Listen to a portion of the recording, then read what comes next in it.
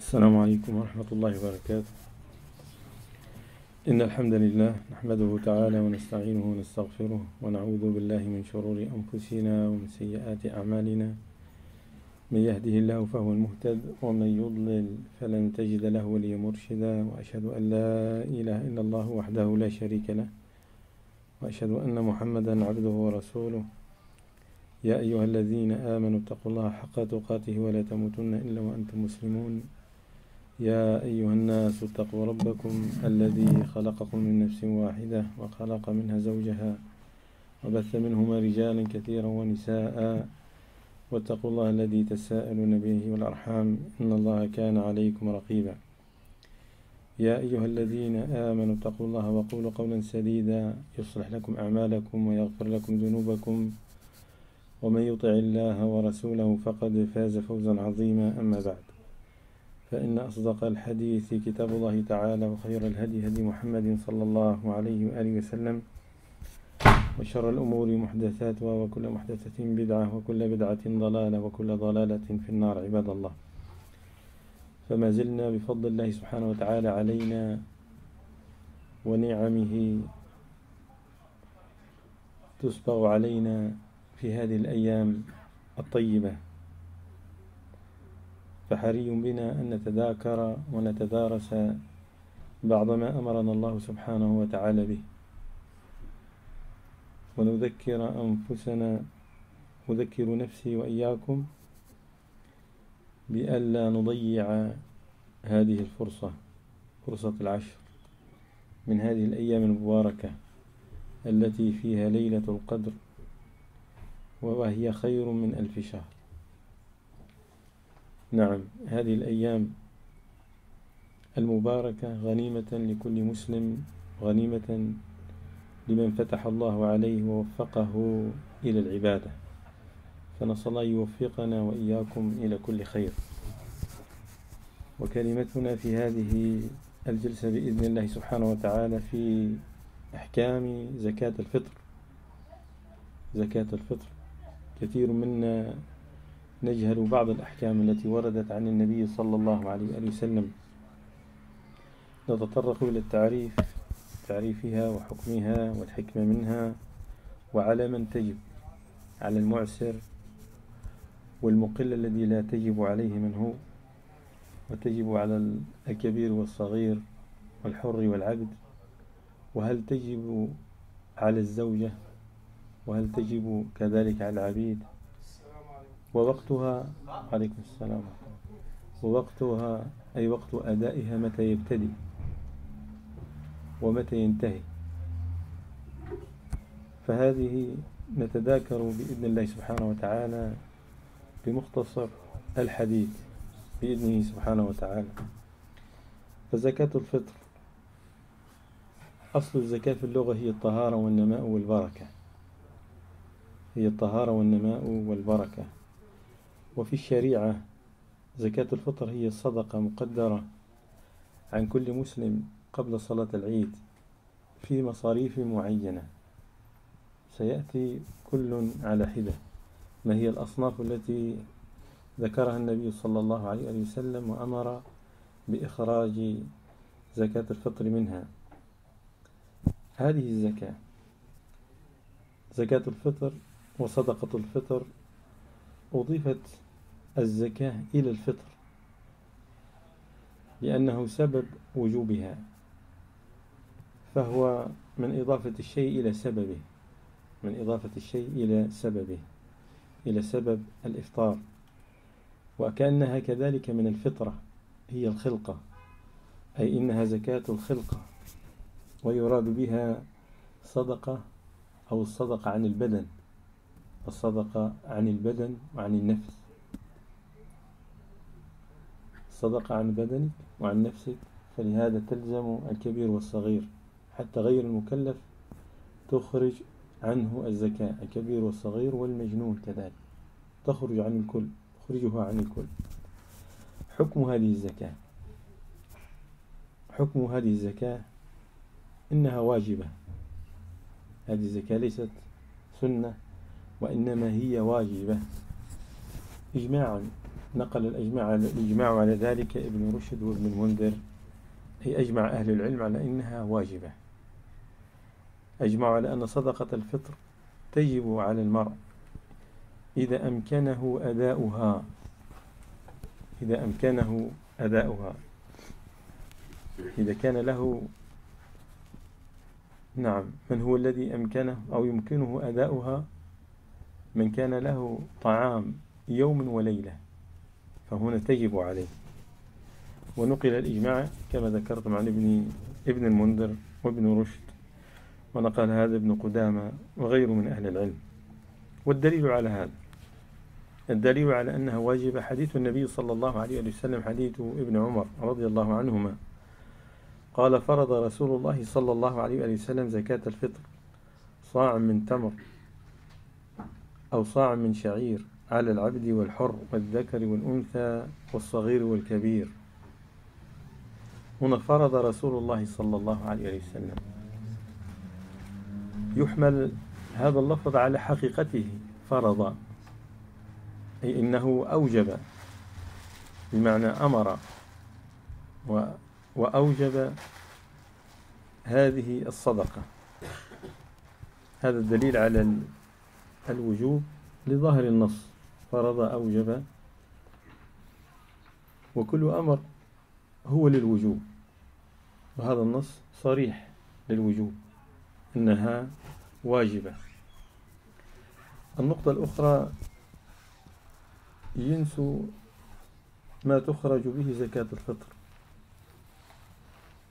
من ماذا نخرج؟ هل نخرجها مالا أو طعاما؟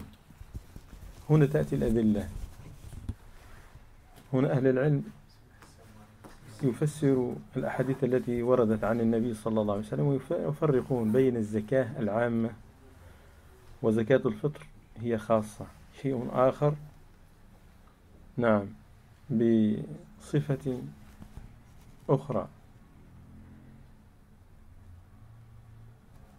إن هذه الزكاة تخرج من طعام أهل البلد إذا كان أرز أو دخن أو حنطة أو شعير أو ذرة أو غير ذلك مما يأكل الناس. أنها تخرج طعام مما يأكل الناس.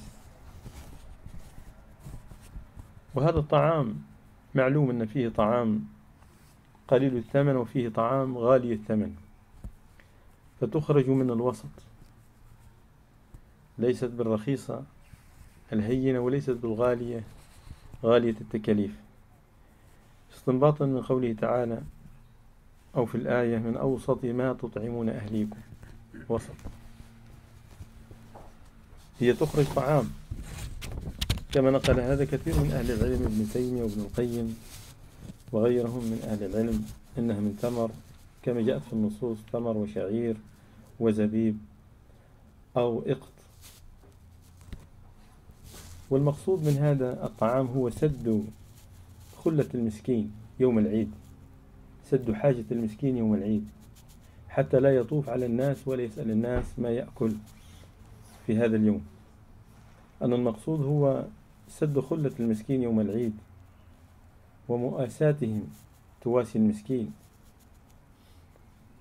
تواسيه.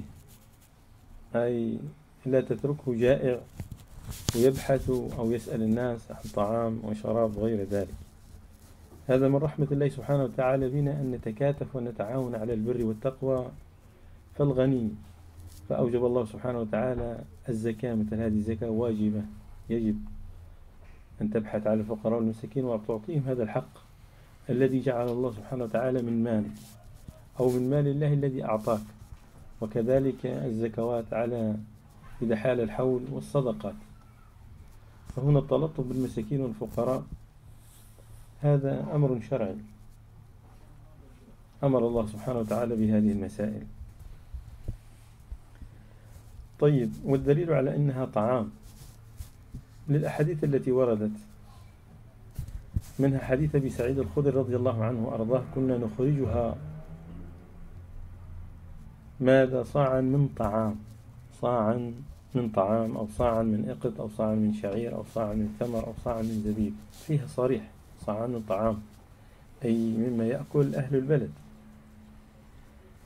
وفي الحديث كذلك حديث أبي سعيد وكان طعامنا الشعير والزبيب والإقط والتمر أي كان طعام الصحابة في ذلك الوقت هو الشعير والزبيب والإقط والتمر فلهذا النبي صلى الله عليه وسلم قال كما سمعت في الحديث فرضت صدقة صدقة الفطر صاع من تمر أو شعير أو زبيب أو صاع من إقط.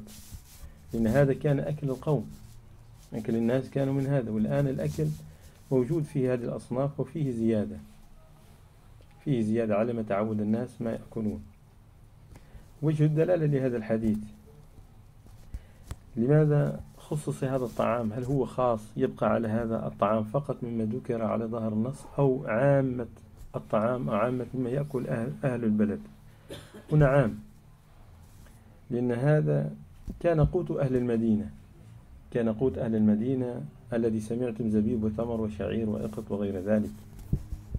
هذا كما ذكر هذا أو هذا التوجيه ابن تيمية رحمة الله عليه. والمقصود هو إيش؟ إطعام الجائع وإطعام المسكين يوم العيد ومؤساتهم فنعطيهم مما نأكل ومما هم يأكلون. لو كنت مثلا في قرية أنت تأكل في أكل معين وهم لا يأكلون الأكل الذي أنت تأكله ماذا تعطيهم؟ تعطيهم من أكلك أنت أو من الأكل الذي عندهم هم. تعطيهم من الأكل الذي هم يأكلوه. لو أعطيتهم مثلا تمر وهم لا يأكلون التمر والزبيب. هم لا يأكلوا هذا ولا يعرفون لا, لا, لا, لا يستنفعوا بهذا. إنما تعطيهم من الطعام الذي هم تعودوا عليه ويأبهونه كذلك أن هذه هي طعام.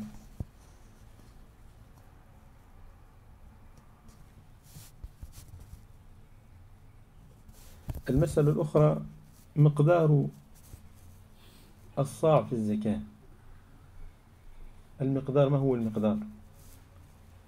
مقدار الصلاة الصاع الواجب هو ماذا؟ خمسة أرطال وثلث خمسة أرطال وثلث. حديث النبي صلى الله عليه وآله وسلم قال المكيال مكيال أهل المدينة والوزن وزن أهل مكة. والصاع ما هو الصاع؟ الصاع هو أربعة أمداد. أربعة أمداد. باليد ليست بالكبيرة ولا بالصغيرة إنما من أوسط الأيدي. ممتلئة أربعة أمداد. هذا هو الصاع. الواجب هذا من جميع الأجناس التي ذكرت من الطعام. أربع حفنات باليد المعتدلة. ممتلئة. والوزن وأربعة أمداد. وأربعة أمداد هذه بوزن ماذا؟ بحوالي ثلاثة كيلو كيلو جرام بما يقارب ثلاثة إيرو إذا كان فيه بعض الزيادة. نعم هذا هو الصاع. والحكمة من مشروعية هذه الزكاة ما هي الحكمة؟ فيها حكم. ما أمر الله سبحانه وتعالى بأمر إلا فيه من الحكم. وعليكم السلام بعض الحكم نعلمها وبعضها لا نعلمها. هي خير لنا في دنيانا وأخرانا. لمشروعية للزكاة حكم عظيمة منها أن طهرة للصائم من اللغو والرفث وإنها طعمة للمساكين كما في الحديث. طهرة للصائمين من اللغو والرفث وطعمة للمساكين. إن هذه الزكاة كذلك ماذا؟ زكاة للبدن. على بدنك على نفسك. حتى تتذكر أن هذا البدن والجسد بقى معافى عاما عاما كامل. أو هذه الأعوام أنت معافى. تتذكر نعمة الله سبحانه وتعالى على جسدك وما أعطاك من قوة. إنها زكاة للبدن حيث أبقاك الله تعالى عاما من الأعوام وأنعم عليك بالبقاء. ولأجل ذلك إنها وجبت حتى على الصغير وعلى الغير المكلف من المجانين وغير ذلك. كذلك من الحكمة فيها أنها شكر نعمة الصائم أن وفقه الله سبحانه وتعالى للصيام. هذه شكر هذه النعمة أن وفقك الله لهذه العبادة. كما إنها هي مماثلة للأضحية للحاج أو الهدي للحاج. عندما وفقه الله سبحانه وتعالى لإتمام عبادة الحج. بعد الحج كانت فيه أضحية وبعد الصيام كان فيه ماذا؟ زكاة الفطر. فلهذا الأمر. وكذلك من الحكم ما هو؟ إن فيها الأجر العظيم للإنسان. أن توفق لهذه العبادة وتقوم بهذا الأمر طاعة لله. وفيها أجر عظيم عندما تقوم بهذه العبادة التي أمر الله سبحانه وتعالى بها. النقطة الأخرى على من تجب زكاة الفطر؟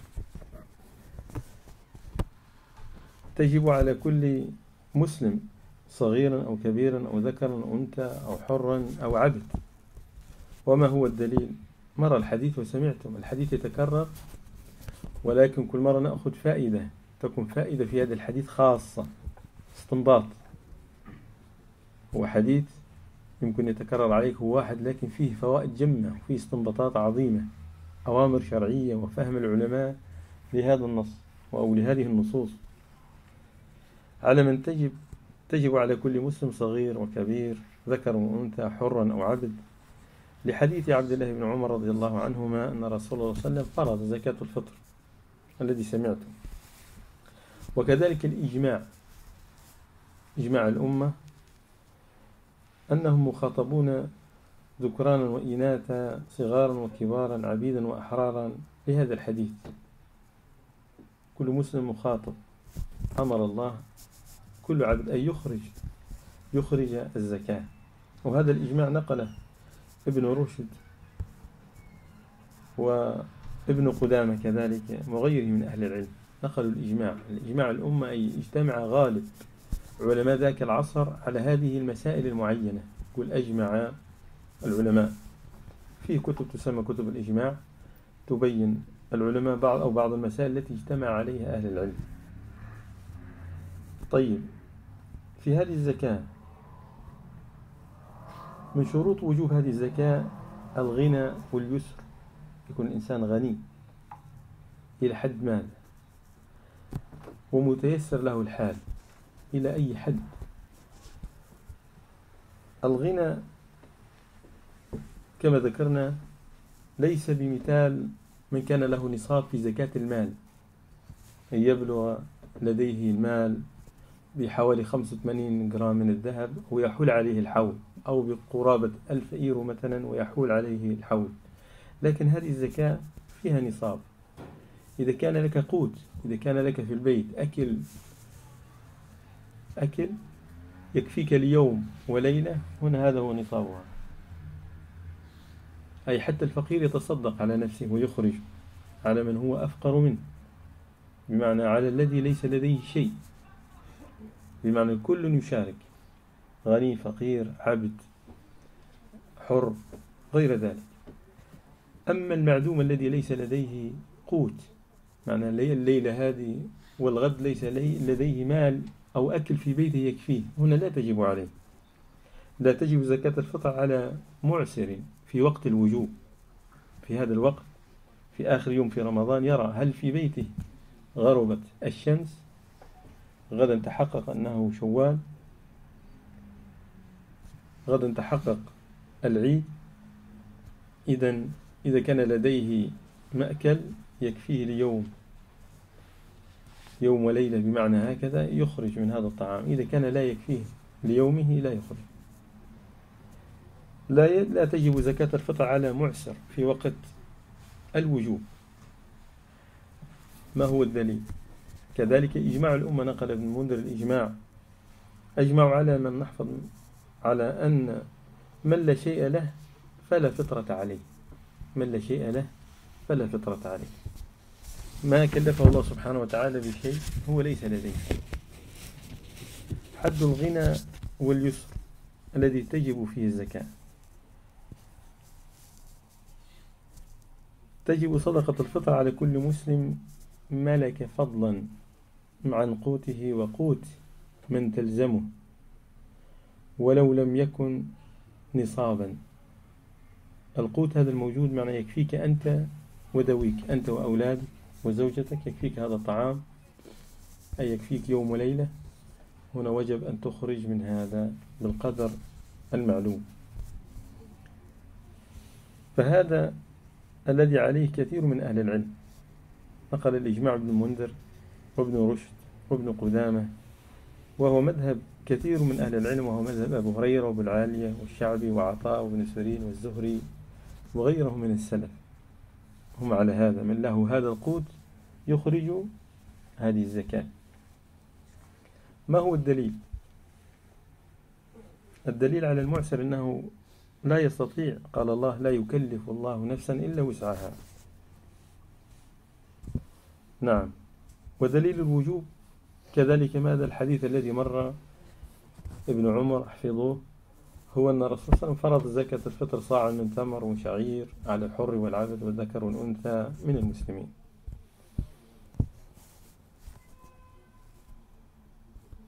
هذا النص هذا النص أطلق ولم يخصص الغني فقط أو مالك النصاب فقط إنما يدخل فيه كل من له فضل من الأكل والشراب أي لديه هذا القوت.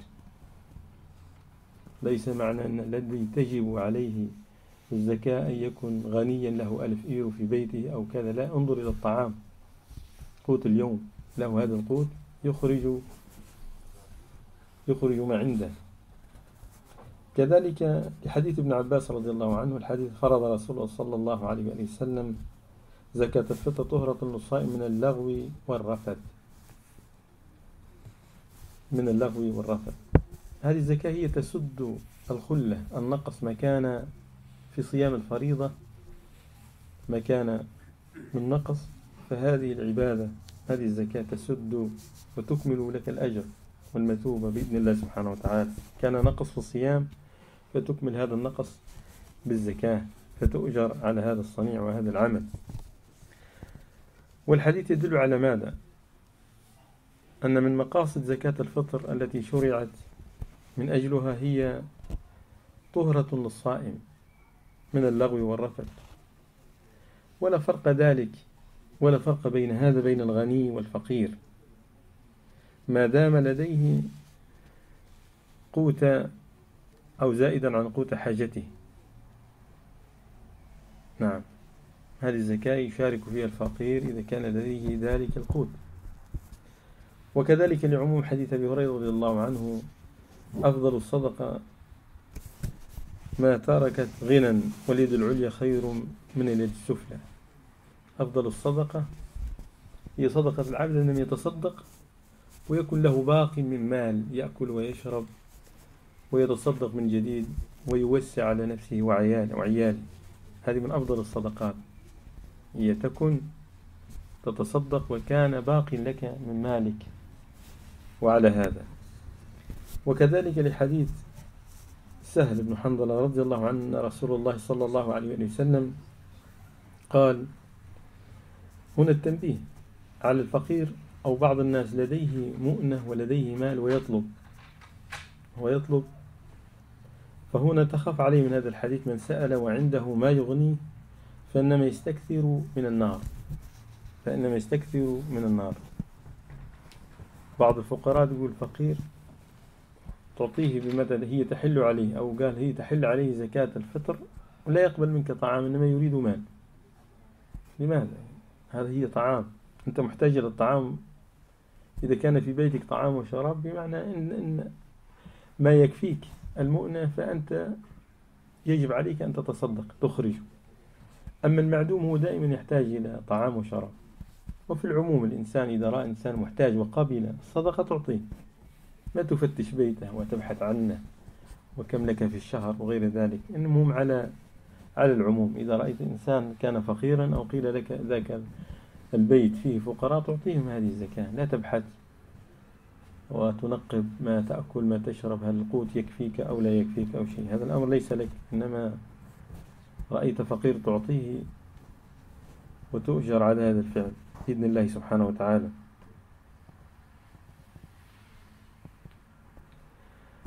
مسألة أخرى طيبة أن صدقة الفطر حق مال لا يزيد بزيادة المال فليعتبر وجوب النصاب فيها. فليعتبر وجوب النصاب فيها. المال العادي إذا كان بلغ النصاب لك في الزكاة اثنين ونصف في المئة. أما هذه النصاب إذا كان لك قوت يوم تخرج تخرج ماذا؟ هذه الزكاة. كالكفارة. كالكفارة. كالكفارة اليمين وغير ذلك إنما هي كما هي موضح هذا بنفس المثل بالضبط. المسألة الأخرى هل يمنع الدين المؤجل وجوب زكاة الفطر؟ إذا كان عليك دين مؤجل هل تمتنع عن أداء زكاة الفطر؟ الدين المؤجل لا يمنع مؤجل أن عليك دين لا يمنع أن تقدم أو تخرج زكاة الفطر. إذا كان هذا صاحب الدين أو هذا المبلغ أصلا لا يؤثر على المال الذي يريده منك صاحب الدين تخرج هذه الزكاة. إذا كان عليه دين وصاحبه لا يطالبه أدى صدقة الفطر كما قال شيخ الإسلام تيمية رحمة الله عليه. ومن مسائل كذلك ما سمعت في الحديث الأول الحر على الحر. يشترط في وجوب زكاة الفطر الحرية فلا فطر على رقيق. أي كان الناس في الأول كان العبيد أو إذا وجد العبيد. كان في الأول فيه العبيد العبد لا تجب عليه زكاة الفطر إنما من يخرج عنه وليه. زكاة الفطر عن أهل بيتك وممن تعود. مثال الأب يخرج عن أولاده القصر الصغار. يخرج عنهم ماذا؟ زكاة الفطر. تجب زكاة الفطر على الأب عن أولاده الصغار الذين لا أموال لهم. ولكن إذا كان لديك أولاد لديهم أموال يخرج. يخرج كل عن نفسه. وتستطيع أنت تخرج عنهم جميعا مثلا. تتكفل لكن ليس واجب عليك. إذا كان لك ابن كبير له أموال أبوك أبنائك الكبار مثلا وزوجتك. هل تجب عليك الزكاة؟ لا لا تجب عليك أنت. إن هذا المال مثلا مثلا أبوك لو كان لديه نصاب بلغ النصاب في في زكاة المال. مثلا أبوك له عشرة ألاف إيرو. أنت لا ليس من حقك ليس لا يجب عليك أن تخرج الزكاة التي عن أبوك مثلا في عشرة ألاف إيرو. إنما يخرج هو هو عن نفسه. كذلك أولادك كذلك زوجتك. لو لديها أموال تخرج هي عن نفسها كذلك هذه زكاة الفطر. كل يخرج عن نفسه. إلا أولادك القصر أنت ملزم بالإخراج عنهم كما سيأتي الآن. ما هو الدليل؟ دليل حديث ابن عمر رضي الله عنه فرض رسول الله صلى الله عليه وسلم كما سمعت فرض أوجب أمر. الأثار عن نافع رضي الله عنه. قال كان ابن عمر يعطي عن الصغير والكبير حتى إذا كان يعطي عن بنية هذا نافع هو خادم ابن عمر. يعطي لنافع ويعطي لأولاد نافع. إنهم تحت يده يعطيهم ويخرج عنهم هذه الزكاة. والإجماع على هذا نقل الإجماع ابن المنذر وابن عبد البر. أجمعوا أن صدقة الفطر تجب على المرء إذا أمكنه أداؤها عن نفسه وأولاده الأطفال الذين لا أموال لهم. تخرج عن نفسك وعن أموال أو أولادك الذين لا لا أموال لهم. هذا إجماعا. هل تجب كذلك المسألة هنا على الزوجة؟ هل تجب صدقة الفطر على الزوجة؟ لا يلزم الزوج إخراج صدقة الفطر على امرأته والمرأة عليها أن تخرج على نفسها. الآن لو قال رجل إن مرتي ما عنديش في الغالب أن النساء عندهم. لأنك أنت كل عام تخلص مثلا في الضرائب تخلص حتى على زوجتك وأنت. ليس المال اللي في يدك هذا مالك أنت بس مال حتى زوجتك. هي لها مال. هي نعم هي تقول لك اخرج من المال المستأمن أنت عنه اخرج عني الزكاة. ليس منا منك إنما هي لها أموال تخرج. أو أنت تخرج عن العائلة تسميها وتسمي لها أموال هذه أموالك وأموالي خروجه على أولادنا وعلى العائلة. هاي أن بعض الناس يجحد يأخذ أموال الزوجة ويقول ما عندها مال. كيف هي لها أموال. مثلا إذا كانت ما عندها لا يجب عليها. مثلا إذا كان ما عندها لا يجب عليها. أما إذا عندها هي استعملتك على هذا المال فتخرج. هذه الأمانة. نعم. أما إذا كان ما عندها هي لا يلزمك سقط عنها هذا سقط عن هذا التكليف. لكن إذا كان عندها تخرج عن نفسها. ما هو الدليل؟ قال الله تعالى ولا تكسب كل نفس إلا عليها ولا تزر وازرة وزر أخرى. إن كل بأعماله ولا تزر وازرة وزر أخرى. مثلا أبنائك الكبار إذا عملوا مثلا معصية لا تلحقك أنت المعصية.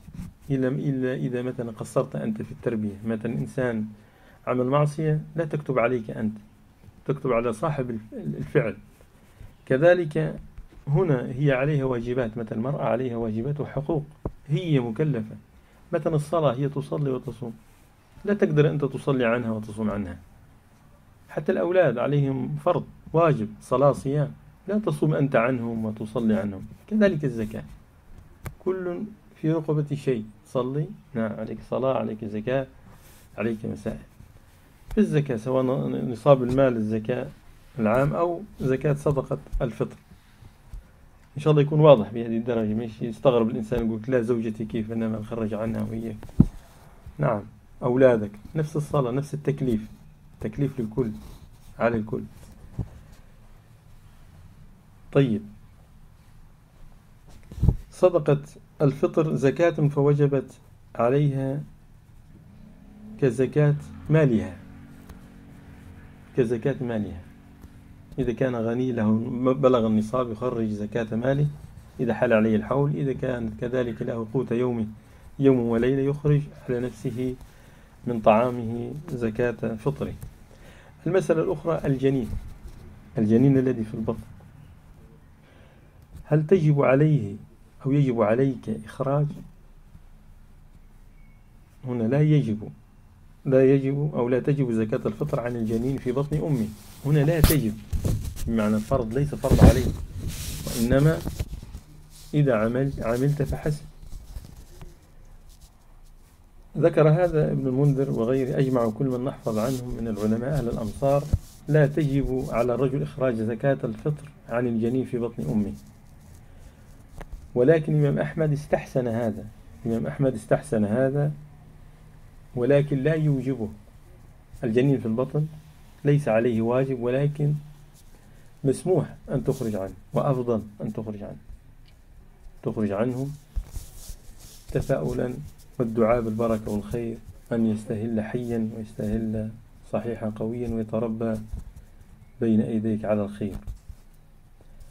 فهذا نقل هذا ابن المنذر ونقل هذا ابن القدامى وغيره من أهل العلم. ما هو الدليل؟ هنا الدليل في الحديث الذي سمعتم ليس فيه جنين. أما ذكرت أصناف كثيرة كما سمعتم في الأحاديث. في الأحاديث التي سمعتم أنها تجب على زكاة الفطر على الصغير. والجنين في بطن أمه لا يصدق عليه اسم الصغير. لا لغة ولا عرف. لا لغة ولا عرف.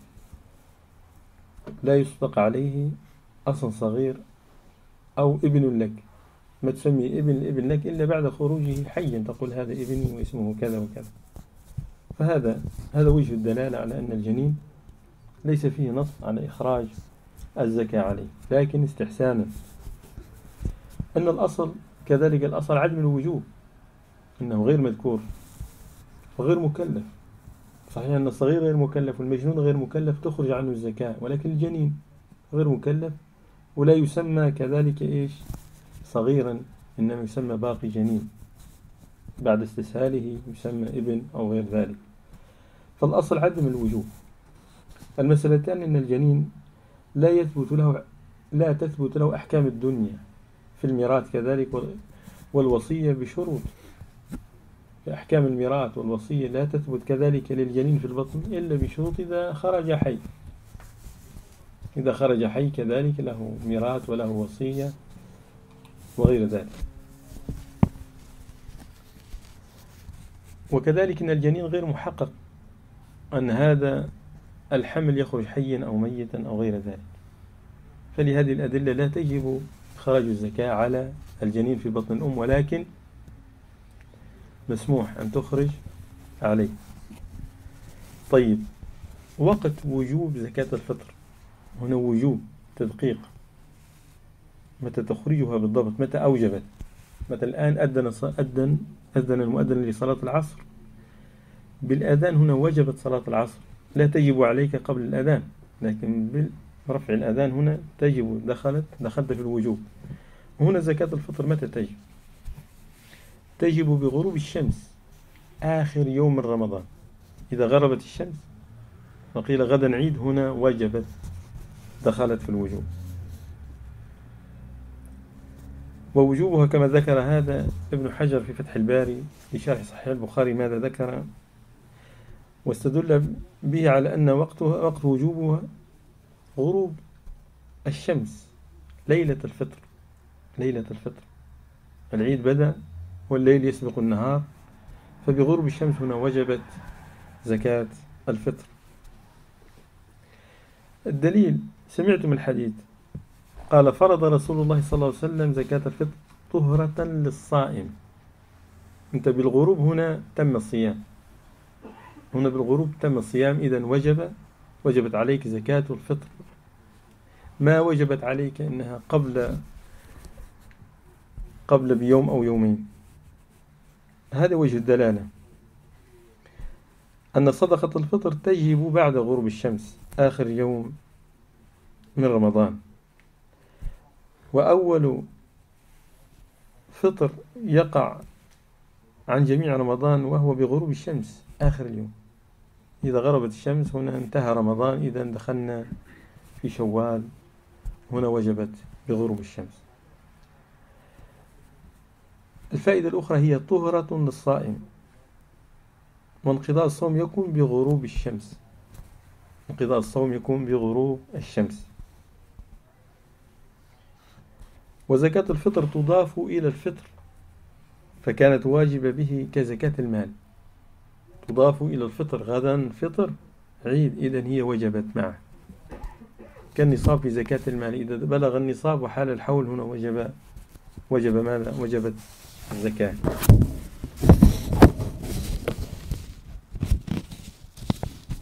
طيب المسألة الأخرى. السنة في وقت إخراج صدقة الفطر. هنا الوجوب علمنا الوجوب هو بغروب الشمس. آخر يوم رمضان هنا الوجوب. لكن السنة في وقت إخراج صدقة الفطر. الأفضل إخراج زكاة الفطر يوم العيد قبل صلاة العيد. عرفنا الوجوب متى وجبت؟ غروب الشمس من آخر يوم في رمضان. والأفضل متى تخرجها؟ الأفضل إخراج زكاة الفطر يوم العيد قبل صلاة العيد. لقول الله تعالى قد أفلح من تزكى وذكر اسم ربه فصلى. أن المراد بمن تزكى من أدى صدقة الفطر ثم غدا ذاكرا لله إلى المصلى فصلى. قد أفلح من تزكى وذكر اسم ربه فصلى. هذا شرح الإمام البخاري شرح الإمام. هذا الحديث في صحيح البخاري شرح تعليقات الحافظ ابن حجر على هذا. لدلالة هذه الآية. نعم. أن الأفضل قبل صلاة العيد تأتي تتصدق تصلي العيد. هذا كما قال الله قد أفلح من تزكى وذكر اسم ربه فصلى. الدليل كذلك من السنة حديث ابن عمر رضي الله عنه وأرضاه. أمر رسول الله صلى الله عليه وسلم بزكاة الفطر أن تؤدى قبل خروج الناس إلى الصلاة. قبل خروج الناس إلى الصلاة. كذلك الحديث الأول الذي سمعته فرض رسول الله صلى الله عليه وسلم زكاة الفطر للصائم كذا قبل الصلاة قبل الصلاة. فمن أداها قبل الصلاة فهي فهي زكاة ومن أداها بعد الصلاة فإنها صدقة من الصدقات. هنا حدها أفضلها قبل الصلاة. وإذا كانت بعد الصلاة كانت صدقة من الصدقات. طيب هنا هذه في إخراجها قلنا ماذا إن الأفضل قبل صلاة العيد. الإجماع على ذلك. نقل العبدري إجماع. الإجماع على ماذا؟ كما نقل هذا النووي رحمة الله عليه في المجموع. أجمع على أن الأفضل أن تخرج يوم الفطر قبل صلاة العيد. قبل صلاة العيد. هذا نقل الإجماع. المسألة الأخرى تعجيل زكاة الفطر. تعجيل زكاة الفطر. هل يحق لك التعجيل؟ المبادرة بالخيرات. أن تسبق العيد؟ نعم جاز هذا والأدلة. يجوز تعجيل زكاة الفطر عن وقتها بيوم أو يومين. والدليل الأثر عن ابن عمر رضي الله عنهما أنه كان يعطيها. ابن عمر أنه كان يعطيها للذين يقبلونها. ركز يعطيها للذين يقبلونها وكانوا يعطونها قبل الفطر بيوم أو يومين. هنا أثر ابن عمر قال كنا نعطيها. انظر الصحابي عندما يقول كنا نعطيها. أين كان؟ هنا معنى كنا نعطيها في وقت النبي في عهد النبي والنبي حاضر ولم ينكر علينا. لو كان النبي مرتضى هذا الصنيع ينهاهم. إنه مخالف للشريعة النبي ينهاهم. لكن النبي يعطون يعطون هذه الزكاة في حضرة النبي أو في وقته. النبي لا يؤخر البيان لا يؤخر لا يجوز تأخير البيان عن وقت الحاجة. لو كان منهيا عنه لنهاهم النبي لكن كانوا الصحابة يعطونها قبل العيد بيوم أو يومين. فهنا جاز هذا الحديث. رواه الإمام مسلم رحمة الله عليه. النقطة الأخرى إن إعطائهم صدقة الفطر قبل يوم العيد بيوم أو يومين. هنا كان لا يخفى على النبي صلى الله عليه وسلم أن الصحابة لا يقدرون أن يتقدموا بين يدي النبي صلى الله عليه وسلم يعملون أعمال هي لا تجوز. لو كانت لا تجوز لنهاهم النبي صلى الله عليه وسلم عن هذا. النقطة الأخرى إنها كذلك ماذا؟ إنها زكاة. فجاز تعجيلها. كعموم الزكوات أن جاز لك أن تعجل. بالزكاة إذا كان على لديك زكاة جاز أن تقدم سنة سنتين وتخرج الزكاة عن مالك. كذلك زكاة الفطر جائزة بهذا الصورة. كذلك المقصود من صدقة الفطر هي إغناء الفقراء. هي إغناء الفقراء. وهذه العلة مثلا قدمتها أي تغني الفقراء عن التسول يوم العيد حتى يشتغلوا كذلك ويفرحوا بالعيد ويفرحوا بالعبادة مع سائر المسلمين. فالتعجيل لها هي مبادرة بالخير مبادرة بالخير فجاز حصل المقصود منها ماذا؟ هو لا تجعل الفقراء يطوفون بالناس. طيب الأخرى آخر وقت زكاة الفطر. آخر الوقت. متى؟ مر الحديث سمعتم ونعيد. آخر وقتها هو صلاة العيد. ويحرم تأخيرها. لو أخرتها حرام. إنها أمر. هذا الأمر أنت ما عملته مثلا. ما ظن الإنسان أنه أمر عادي. حرام لو إنسان أخرها. وهو يعلم كذا. آخر وقت هو صلاة العيد ويحرم تأخيرها إلى ما بعد الصلاة. إلى ما بعد الصلاة. إن أخرها بعد صلاة العيد فهي قضاء. إن أخرها العبد بعد صلاة العيد فهي قضاء. مثل من نام عن الصلاة أو أخر الصلاة صلاة الظهر صلاها مع العصر حرام عليه. ليس لديه عذر. من أخر زكاة الفطر من أخر هذه الزكاة إلى بعد صلاة العيد ليس لديه عذر حرام عليه. أما إذا كان ناسيا أو أخطأ هذه كمسألة أخرى. إن أخرها بعد صلاة العيد فهو قضاء. لخبر ابن عباس فمن أداها قبل الصلاة فهي زكاة. زكاة مقبولة ومن أداها بعد الصلاة فهي صدقة من الصدقات. وهي لا تسقط. لا تسقط عنك. هذا واجب لا يسقط عنك. هي لا تسقط. هذا أمر الله يعني أوجب ضمة الإنسان نفس الصلاة. إذا تذكرها يصليها هي لا تسقط عنك. ما هو الدليل؟ حديث ابن عباس رضي الله عنهما فرض رسول الله صلى الله عليه وسلم الحديث الذي سمعتم. ومن أداها قبل الصلاة فهي زكاة ومن أداها بعد الصلاة فهي صدقة من الصدقات. طيب والحديث كذلك عن ابن عمر أن النبي صلى الله عليه وسلم أمر أن تؤدى قبل خروج الناس إلى الصلاة. كذلك من إذا عمل هذا تقصدا يخرج زكاة الفطر بعد صلاة العيد. هنا حديث عائشة رضي الله عنها من عمل عمل ليس عليه أمرنا فهو رد. هو خالف السنة. وما أتى بالواجب كما أمر النبي صلى الله عليه وآله وسلم. وكذلك المسألة الأخرى قياسا. القياس على ماذا؟ على أن من ذبح الحديث من ذبح قبل صلاة العيد من ذبح مع من ذبح أضحيته قبل الصلاة صلاة الإمام فإنها لا تكون ذبيحة. إنما شاة لحم إنما لحم. الأضحية كذلك ما تضحي إلا بعدما يضحي الإمام. طيب قضاء صلاة قضاء صدقة الفطر.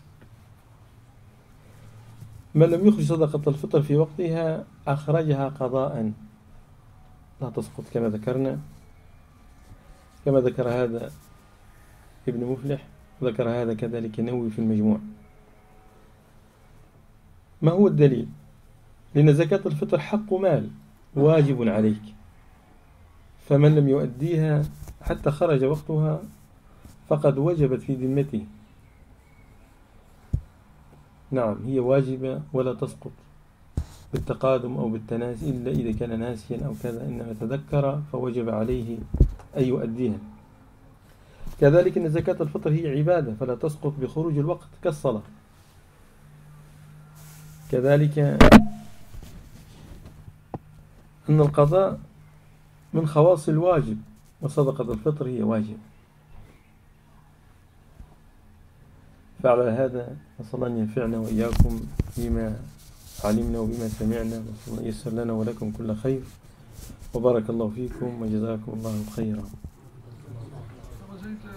بالنسبة من أخرجها بعد الصلاة هل يؤتم؟ خالف الواجب. هو ما هو ناسي أو متقصدا أو إذا كان متقصدا بدعة قبل الصلاة. إذا كان ناسيا نائم عنها أو نام أو غير ذلك ممكن. أما تقصدا هي تدخل في هذا أنها بدعة. أن الواجب هي قبل مثل الصلاة لو أخر إنسان صلاة الظهر إلى العصر بدون أي عذر أخرها لا تسقط في حقه يعيدها فهذا. بارك الله فيكم وجزاكم الله خير. سبحانك اللهم وبحمدك أشهد أن لا إله إلا أنت نعم.